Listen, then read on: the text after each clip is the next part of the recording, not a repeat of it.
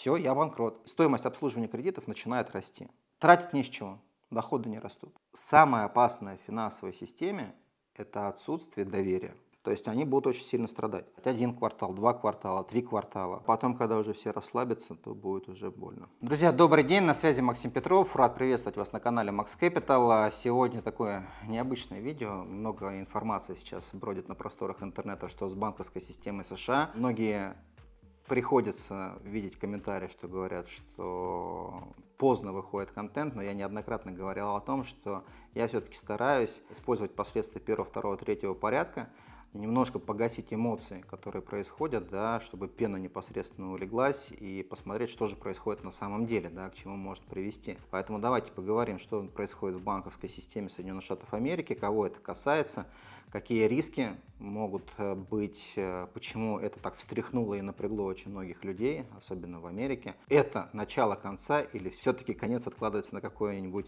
более продолжительное время. Смотрите обязательно данное видео до конца, если вам интересно мое мнение по данному вопросу. Итак, поехали. В Америке произошло следующее, то есть э, есть крупные банки, есть мелкие банки. То есть мелкие банки, они, соответственно, как правило, работают с малым средним бизнесом. То есть взять операционные какие-то деньги, а подоборотный капитал. То есть большим банкам с мелкими возиться неинтересно. Там Bank of America, City, да, то есть он работает с крупными корпорациями. То есть мелочь ему неинтересно, соответственно, там очень много волокиты, проверять это все нужно, да, то есть они работают с крупными холдингами, с крупными корпорациями. Что делают региональные банки? Региональные банки, соответственно, они работают работают с деньгами физических лиц, работают с частным бизнесом. Частный бизнес – это не крупная корпорация, там более высокие риски, более высокие доходности. Да? В качестве примера, одно дело Сбербанку дать в кредит Лукойлу или Газпрому, кредит выдать да, какой-то для него, да, и другое дело дать человеку, который работает по найму. Да, и, соответственно, физическому лицу будет более дорогой кредит, то есть выдать там кредитную карту, автокредит,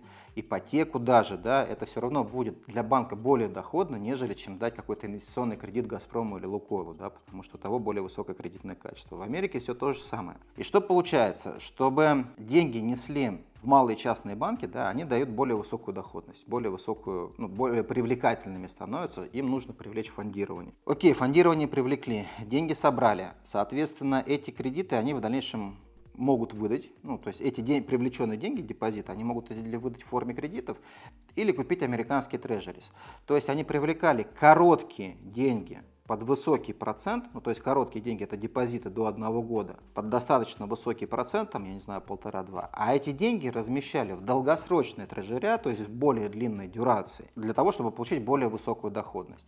И когда ФРС стала повышать процентную ставку, эти облигации, которые они покупали, на которых они зарабатывали, они упали в цене на 20-30%. И возник вопрос, да, денег недостаточно. Люди побежали забирать деньги. Если раньше, например, в 2007-2008 году люди бежали забирать деньги, они бежали в отделение банка, в частном порядке обращались, давали заявку на вывод денег, да, и выстраивались какие-то определенные очереди и просто операционные кассы должны были обслужить вот эту вот всю толпу, всю очередь, да, это было время, и время можно было обдумать, можно было выделить помощь, можно было дать что-то еще, то и вот эти вот сейчас с развитием технологий деньги через приложение выводятся мгновенно, да, это подобно тому, что вы взяли, там, я не знаю, зашли в Сбербанк онлайн, да, и перевели деньги из Сбербанка там в ВТБ, или с ВТБ в Тинькофф, или из Тинькофф в Сбербанк. Ну, то есть вы это можете сделать мгновенно. Вам не нужно обращаться в отделение. И получилось что? Быстро побежали, все начали в электронном виде переводить деньги там, со счетов банков в более надежные банки, в более крупные, или просто забирать себе, или просто забирать из банкоматов, снимать непосредственно. Да? А банки, они не могут продать эти тражеря, которые они купили. Да? То есть они у них и так с убытками, они их еще и вынуждены продавать, и этот убыток э, бумажный, переводить в реальный убыток. Да? И, естественно, произошел разрыв в балансе банка. Да? То есть он начал продавать свои активы, денег недостаточно, чтобы исполнить обязательства перед вкладчиками, все, я банкрот. То есть если бы просто продержались, да, там успокоили эту ситуацию, то, может быть, как это, это можно было выправить. Сейчас это невозможно. Активы в том числе переходят, активы переходят за копейки, переходят в большие банки, переходят с большими дисконтами, да, и, соответственно, вот, вот то, то, что происходит сейчас. А если падает такой банк, то малый бизнес Как это работает? Если обслуживают малый бизнес, выдают кредит, как правило, говорят, давай ты, дружище, деньги у нас будешь размещать в банке. И что тогда получается? Что малый и средний бизнес, который держал деньги в банке, да, у него присутствует риск, что банк ему эти деньги не отдаст. И поэтому это вот некое такое напряжение вызывает. Но пока это касается региональных банков, это, скорее всего, идет вопрос такой же консолидации, как было, допустим, в России. Значительная часть региональных банков в Америке перестанет существовать, они перейдут консолидируются в более, более крупные, там, под, под крыло каких-то больших банков будут переходить. Поэтому сейчас пока что ресурсов достаточно, чтобы с этой ситуацией справиться. Так как все-таки очень много сейчас идет разговоров о том, что будет прям коллапс-коллапс, думаю, скорее всего, в такой период коллапса не будет. То есть сейчас все стабилизирует, потом, когда уже все расслабятся, то будет уже больно. Никто не может предугадать, как дальше будут развиваться события. Да? То есть э, сейчас очень многое зависит от того, каким образом будет действовать Федеральная резервная система США. То есть сейчас получается, самое опасное в финансовой системе – это отсутствие доверия. Отсутствие доверия к регулятору, отсутствие доверия контрагентов, отсутствие доверия к банкам, отсутствие доверия ко всему. Когда происходит отсутствие доверия, когда не исполняются обязательства, когда наступают проблемы, и ты, допустим, или банк, или предприниматель, да, и ты не понимаешь, ну, то есть, условно, один банк какой-то навернулся, и ты не можешь понять, это касается только вот этого банка, или он за собой может потянуть еще другие, потому что он же выступал как коммерческий банк, он выступал контрагентом для другого банка. И ты внутри не понимаешь, какие у них между собой были взаимоотношения. И это из-за того, что у тебя нет понимания, ты начинаешь метаться, да, то есть, что мне делать с деньгами, чтобы в конечном счете их сохранить. Кризис доверия к регулятору, в чем он заключается? В том, что когда глава регуляторов РС Джером Пауэлл на своей конференции заявляет о том, что, ребята, у нас инфляция высокая, да, мы, наверное, опоздали с повышением процентной ставки, и поэтому будем это делать гораздо быстрее, чем должны делать обычно. Но будем это делать до тех уровней, пока инфляция не достигнет там, таргетируемых значений 2%. Потом 2 превращается в 2,5, потом 2,5 превращается в 3, потом в 3,5. Они постоянно повышают уровень таргетируемой инфляции да, до 3,5%. Потом он говорит, что политика будет достаточно жесткая Федеральная резервная система. Мы не будем не повышать процентную ставку, процентные ставки будут высокими длительное время, пока это не охладит инфляцию, и мы прекратим печатать деньги. Начинаются проблемы с тремя там, региональными банками, более или менее крупными. Они берут и там 400 миллиардов долларов печатают за две недели. И получается, ты с одной стороны говоришь, я больше печатать не буду, я процентную ставку снижать не буду, у нас будет жесткая денежно-кредитная политика, потому что мы хотим обуздать инфляцию, но тут же другой рукой ты начинаешь печатать деньги. Да? И здесь получается кризис доверия. И финансовая система да, в такой ситуации не может понять, а завтра они как поступят. Они завтра что, все-таки будут повышать процентную ставку? Если будут, то насколько? А после того, как повысить, как долго они ее будут держать? Один квартал, два квартала, три квартала, год они будут держать ее на высоких значениях или сразу же опустят. А они печатают деньги уже, при том, что они и печатают деньги, и повышают процентную ставку. Да? То есть это подобно тому, что одновременно и на педаль тормоза, и на педаль газа, когда вы управляете автомобилем. Ну что будет, если вы одновременно нажимаете и педаль тормоза, и педаль газа? Машина ехать будет? Наверное, да, но с большим-большим риском того, что произойдет с ходовой частью этого автомобиля, что произойдет с двигателем, что произойдет с тормозной системой. Что-то одно сломается, или тормозная система сломается, или двигатель сломается. И чем больше ты одновременно нажимаешь на тормоз и газ, тем больше ты наносишь угрозы всему, всему, всему автомобилю, да, то есть всему движению этого автомобиля в заданном направлении, которое ты для себя определил. И вот этот риск, вот эта вот проблема, она сейчас очень и очень высока, потому что отсутствует доверие. Когда отсутствует доверие, это приводит к тому, что уменьшается скорость обращения денег, уменьшаются инвестиции, уменьшается расширение производства, уменьшается набор персонала, наоборот, начинают оптимизировать, потому что неизвестно, чем это может кончиться. И это вызывает напряженность в экономике. Безработица начинает расти, инвестиции в э, программу сокращаются, производительность труда, обновление основных средств никто не производит до стабилизации ситуации, чтобы хотя бы было понятно, вы все-таки на газ давите или на тормоз давите. И, соответственно, происходит сжатие экономики. Когда происходит сжатие экономики, ВВП снижается, экономика сваливается в рецессию, и что ты здесь будешь делать? Ты как бы определись. Вот то, что сейчас больше всего раздражает, да, потому что нет определенности. Когда наступит определенность, тогда станет понятно. И, скорее всего, потому как мы видим, сейчас поступает Федеральная резервная система США, в следующие 1-2 квартала будет просто вот это вот одновременное нажатие на педали тормоза, педаль газа. Если ты стимулируешь экономику, тебе нужно снижать процентную ставку и печатать деньги. И это приводит к инфляции, она у тебя и так высокая. Сейчас говорят, для нас приоритет инфляция. Чтобы сбить инфляцию, нужно повышать процентные ставки. Повышение процентных ставок, оно имеет э, двойное негативное значение. Основное позитивное значение заключается в том, что начинает сдерживаться инфляция. Минус, обратная сторона этой монеты заключается в том, что все кредиты, которые в экономике есть, все кредиты, правительства, корпораций, физических лиц, стоимость обслуживания кредитов начинает расти.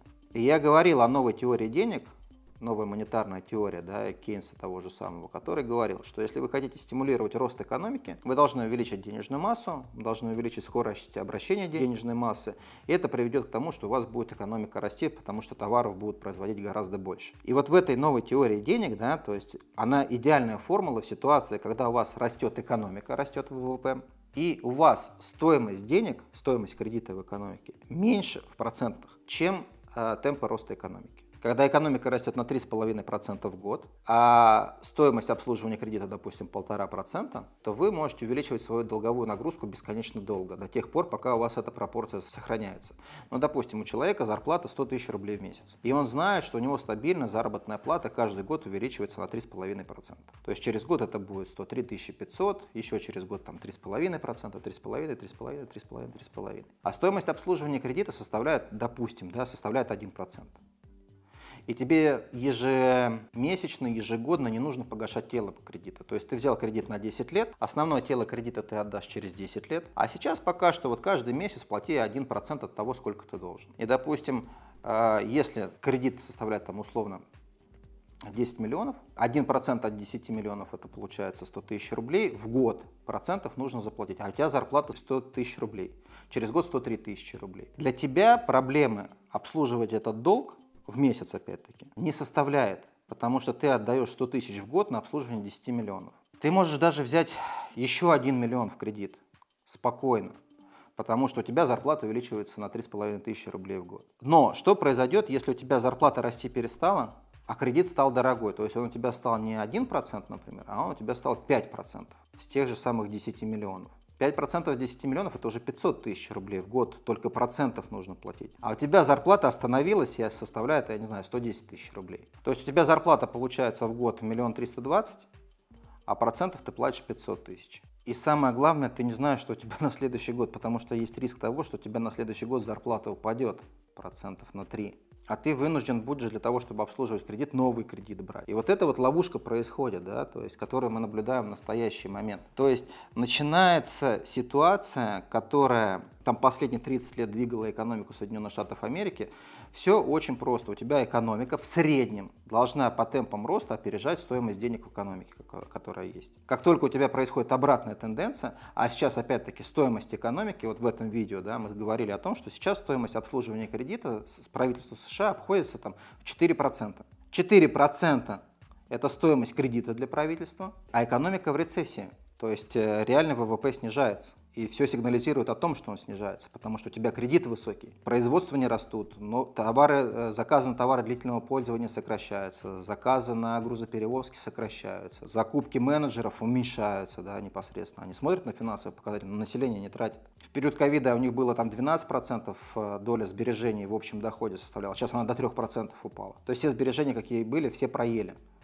И, соответственно, тратить не с чего доходы не растут. И это приводит к тому, что ВВП снижится, доходы упадут, и в нашей истории, в нашей формуле получится, что экономика снизится, стоимость обслуживания долга высока. Что было делать так, сейчас?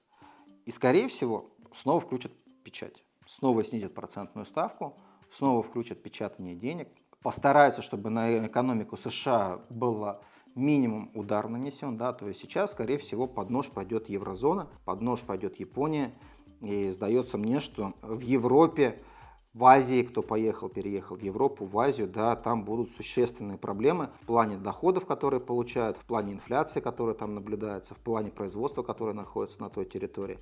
То есть они будут очень сильно страдать. Проблемы будут у Америки, но Америка, еще раз, это основной ключевой потребитель в мире, да, то есть все потребление там сконцентрировано. Ситуация, связанная с Америкой, у них положительные, там, преимущественно положительные процентные ставки, они эффективно борются с инфляцией. В Европе этого не наблюдается. в Европе не наблюдается эффективной работы с инфляцией, потому что инфляция по-прежнему высокая, погасить ее не представляется возможным Европейским Центробанком. Да?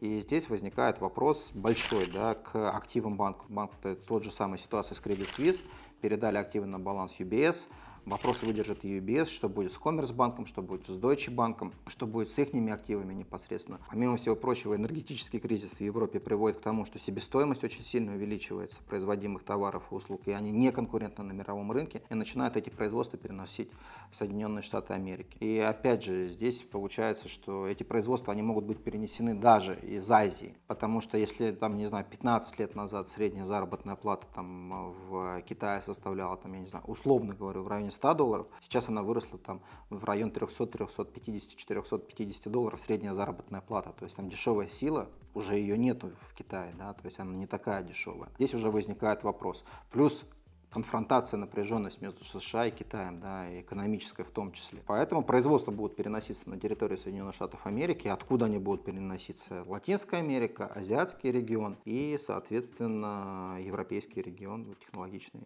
технологичные сектора.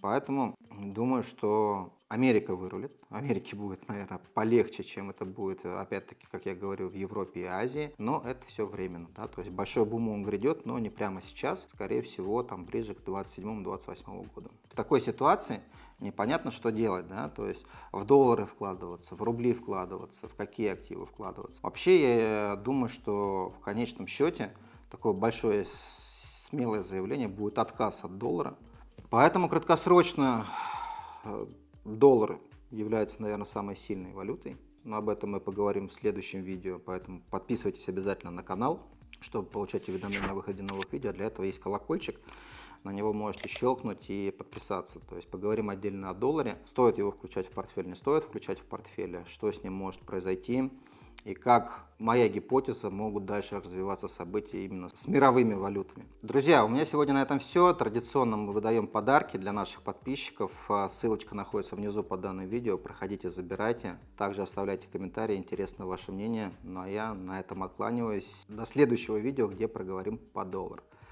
Пока-пока.